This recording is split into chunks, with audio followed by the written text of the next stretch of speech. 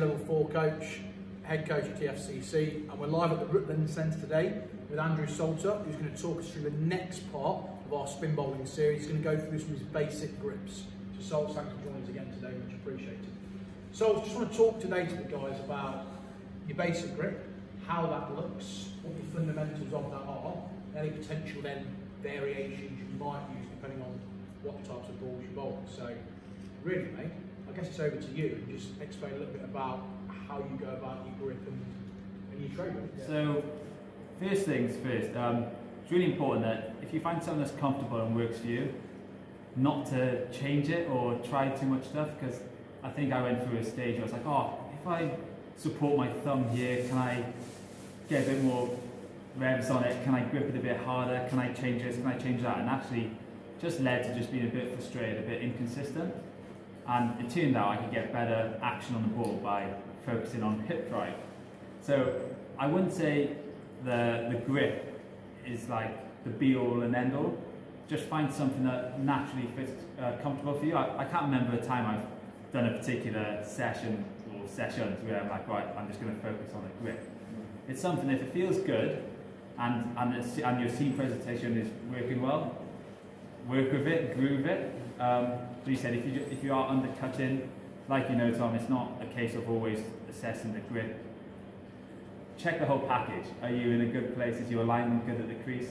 If those things are, are, are all aligned and you're still not quite getting the seam as tall as you'd like, maybe have a look at it, but don't you know jump straight into oh I, I want to bowl over the top I'm just going to look at my seam because you might have a lovely you know grip and seam presentation but something else might be letting you down you might be crossing over etc so consider the whole package um, and, and, and then you know just looking at your grip there I mean what's interesting about that if you don't mind picking yeah. up results is you see a lot of younger and experienced coaches and they'll do sessions on grips and I think what you're saying there is actually let's incorporate that into the, the session itself.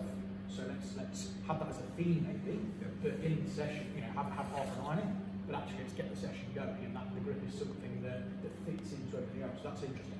Just show us there, it's really interesting how just how wide your fins are for some of the guys that perhaps don't get to see that. Yeah, so I'll try and show you a couple of angles and again now I just don't think about it. It's one of those things you just grab a ball actually, when I bowl, I end up putting the ball into my hand when I'm like halfway running up. As a grip should be. Like, you know, I'm just like, ah, and then it just fits in there. So I'm trying not to think about too much.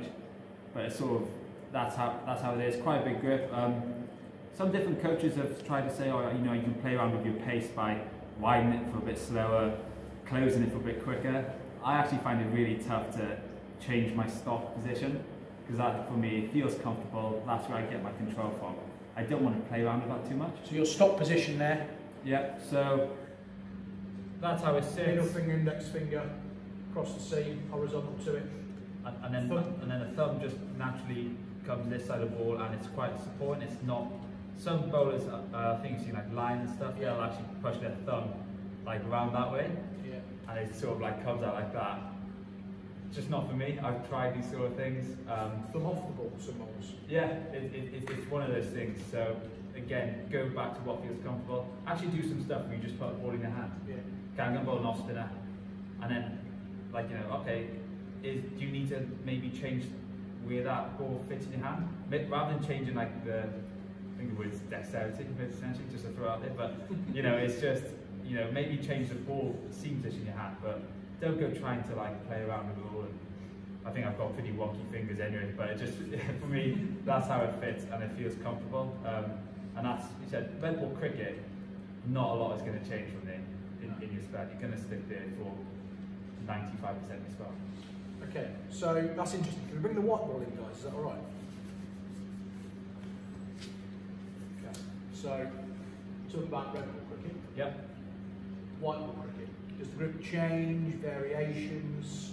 Which variations you like to use more in your white ball? How does that look to the guys that are joining today? Yeah, so massively so. Um, the biggest one, let's just start off with, is you get chuck the ball to bowl a first over. Um, this, this is becoming a lot more and more apparent in, in, in T20 cricket, especially to both first over as a spinner. You can get in and out, and you know it, it, it does a you know you, you can do a great job like that. So with that said, the ball tends to have a bit of a slippery shine on it when it's new. So I like to hold the seam. Same, same finger position, but rather than the seam coming this way, you turn it completely that way. So the, the seam is coming sort of horizontally, if you, if you want to call that vertically. Then. So that's uh, from the on. Yeah. As a batter, you'd be looking at getting. Yeah, you, you probably imagine them to push the Yeah. seam down, but, but for me, when the, when the ball is slippy, I can really grip that seam and then just come over the ball that way. So again, first over, that ball, when you feel it, it's like, oh, this feels like a bar of soap. So you can just go like that, you can come over the ball. It's not going to get big drift because you're not standing the seam up to get that dip and drift. So it's going to be quite a flat trajectory, come over the top, wicket to wicket. For me, that's a quite a uh, consistent way of achieving that. So, so that would be my change up.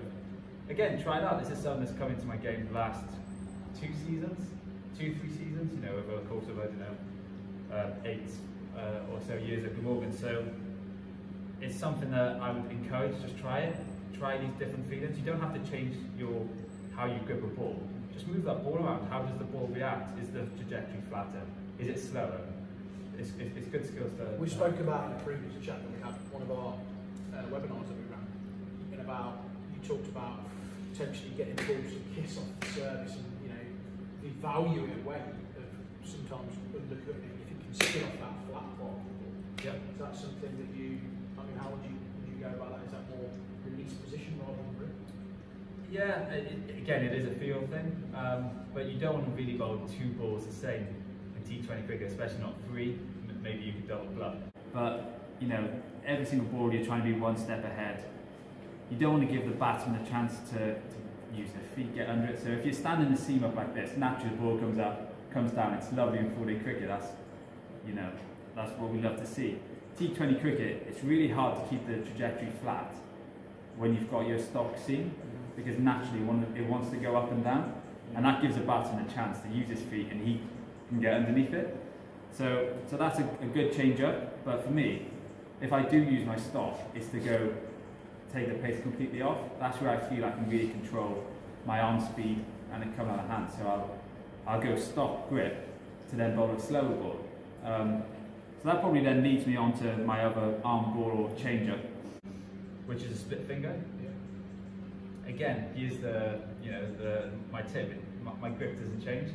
I've gone from stock to sort of crossing like that, and then my arm ball is this, That's great. the, Guys, just the, looking the at seam that. in between my hands. This close as well, so it's really, Yeah. it's really evident to see. You're right. The grip doesn't change at all. Where the ball sits in your grip changes. The actual grip doesn't change, and I think that leads nicely on to one of the previous filming sessions that we did. Yeah.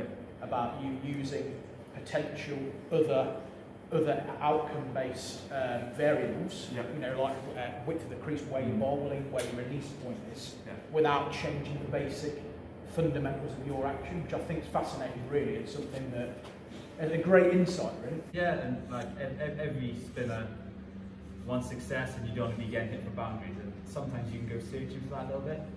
You, you, you watch other players do different things, and oh, that might work. I might try this. I might try that. But if you go too far down that route, you might, you know, you, you might get a bit frustrated. You're not getting the results. So try and keep, you know, your your consistent things as consistent as possible. And for me, that is how the ball sits in my hand. If I move a ball around and I can play around some stuff, it's a T20 game, there's 30,000 people watching. At the back of your mind, you don't want to be going, oh, how do I hold the ball again? Like, it's just, there it is, I, I've done this before. You, you, you become a bit more instinctive with it. so you're not just finally before we wrap things up, just from a batter's point of view, you're not overly protective of what they get to see. No, uh, mainly because because the, the way I run in a bowl and then, like that grip on the ball, because that's the same, it's quite hard to see, you know, from the back that that's not going to be that delivery. That's not going to be, you know. The last point is if I come down as an arm ball that way, or if it's there to there to come over that way. It's very subtle, but they're two completely different. Like a split finger can come out like a slow wobbler, where gripping it that way, coming over the top is like a flat adder pad. So it's little changes my end, which make a big difference. And we spoke about this, making sure the variations are big. your slow ones are slow and your fast ones are fast. I, I, I've tried to work on making that gap bigger so that people don't adjust as easily. And relying on, like you say, what you can control there, Yeah. but combine that with some natural variation, Yeah. you then see potentially a real variable. So, finally, Salts, one key thing for grip. Young, Um, young spinner, teenage spinner, one thing for you, most important. Yeah, I, I would say do what's comfortable. Um, literally, put the ball in your hand as if you're going to spin it. Don't look at the ball, and then look at it after and go, oh, that's how I hold the ball. Like e- even talking to you today, I have to put in my hand to think how I do it. I don't look at the ball and go, okay, that's how I want to hold it. you're conscious of So, so get it comfortable and then work from there. Salts, you've been a great guest today on the next part of our spin bowling series. Thanks ever so much, guys. That was spin bowling grips with Andrew Salter and Glamorgan. Salts, thanks a lot for your time. today. Cheers. Thanks.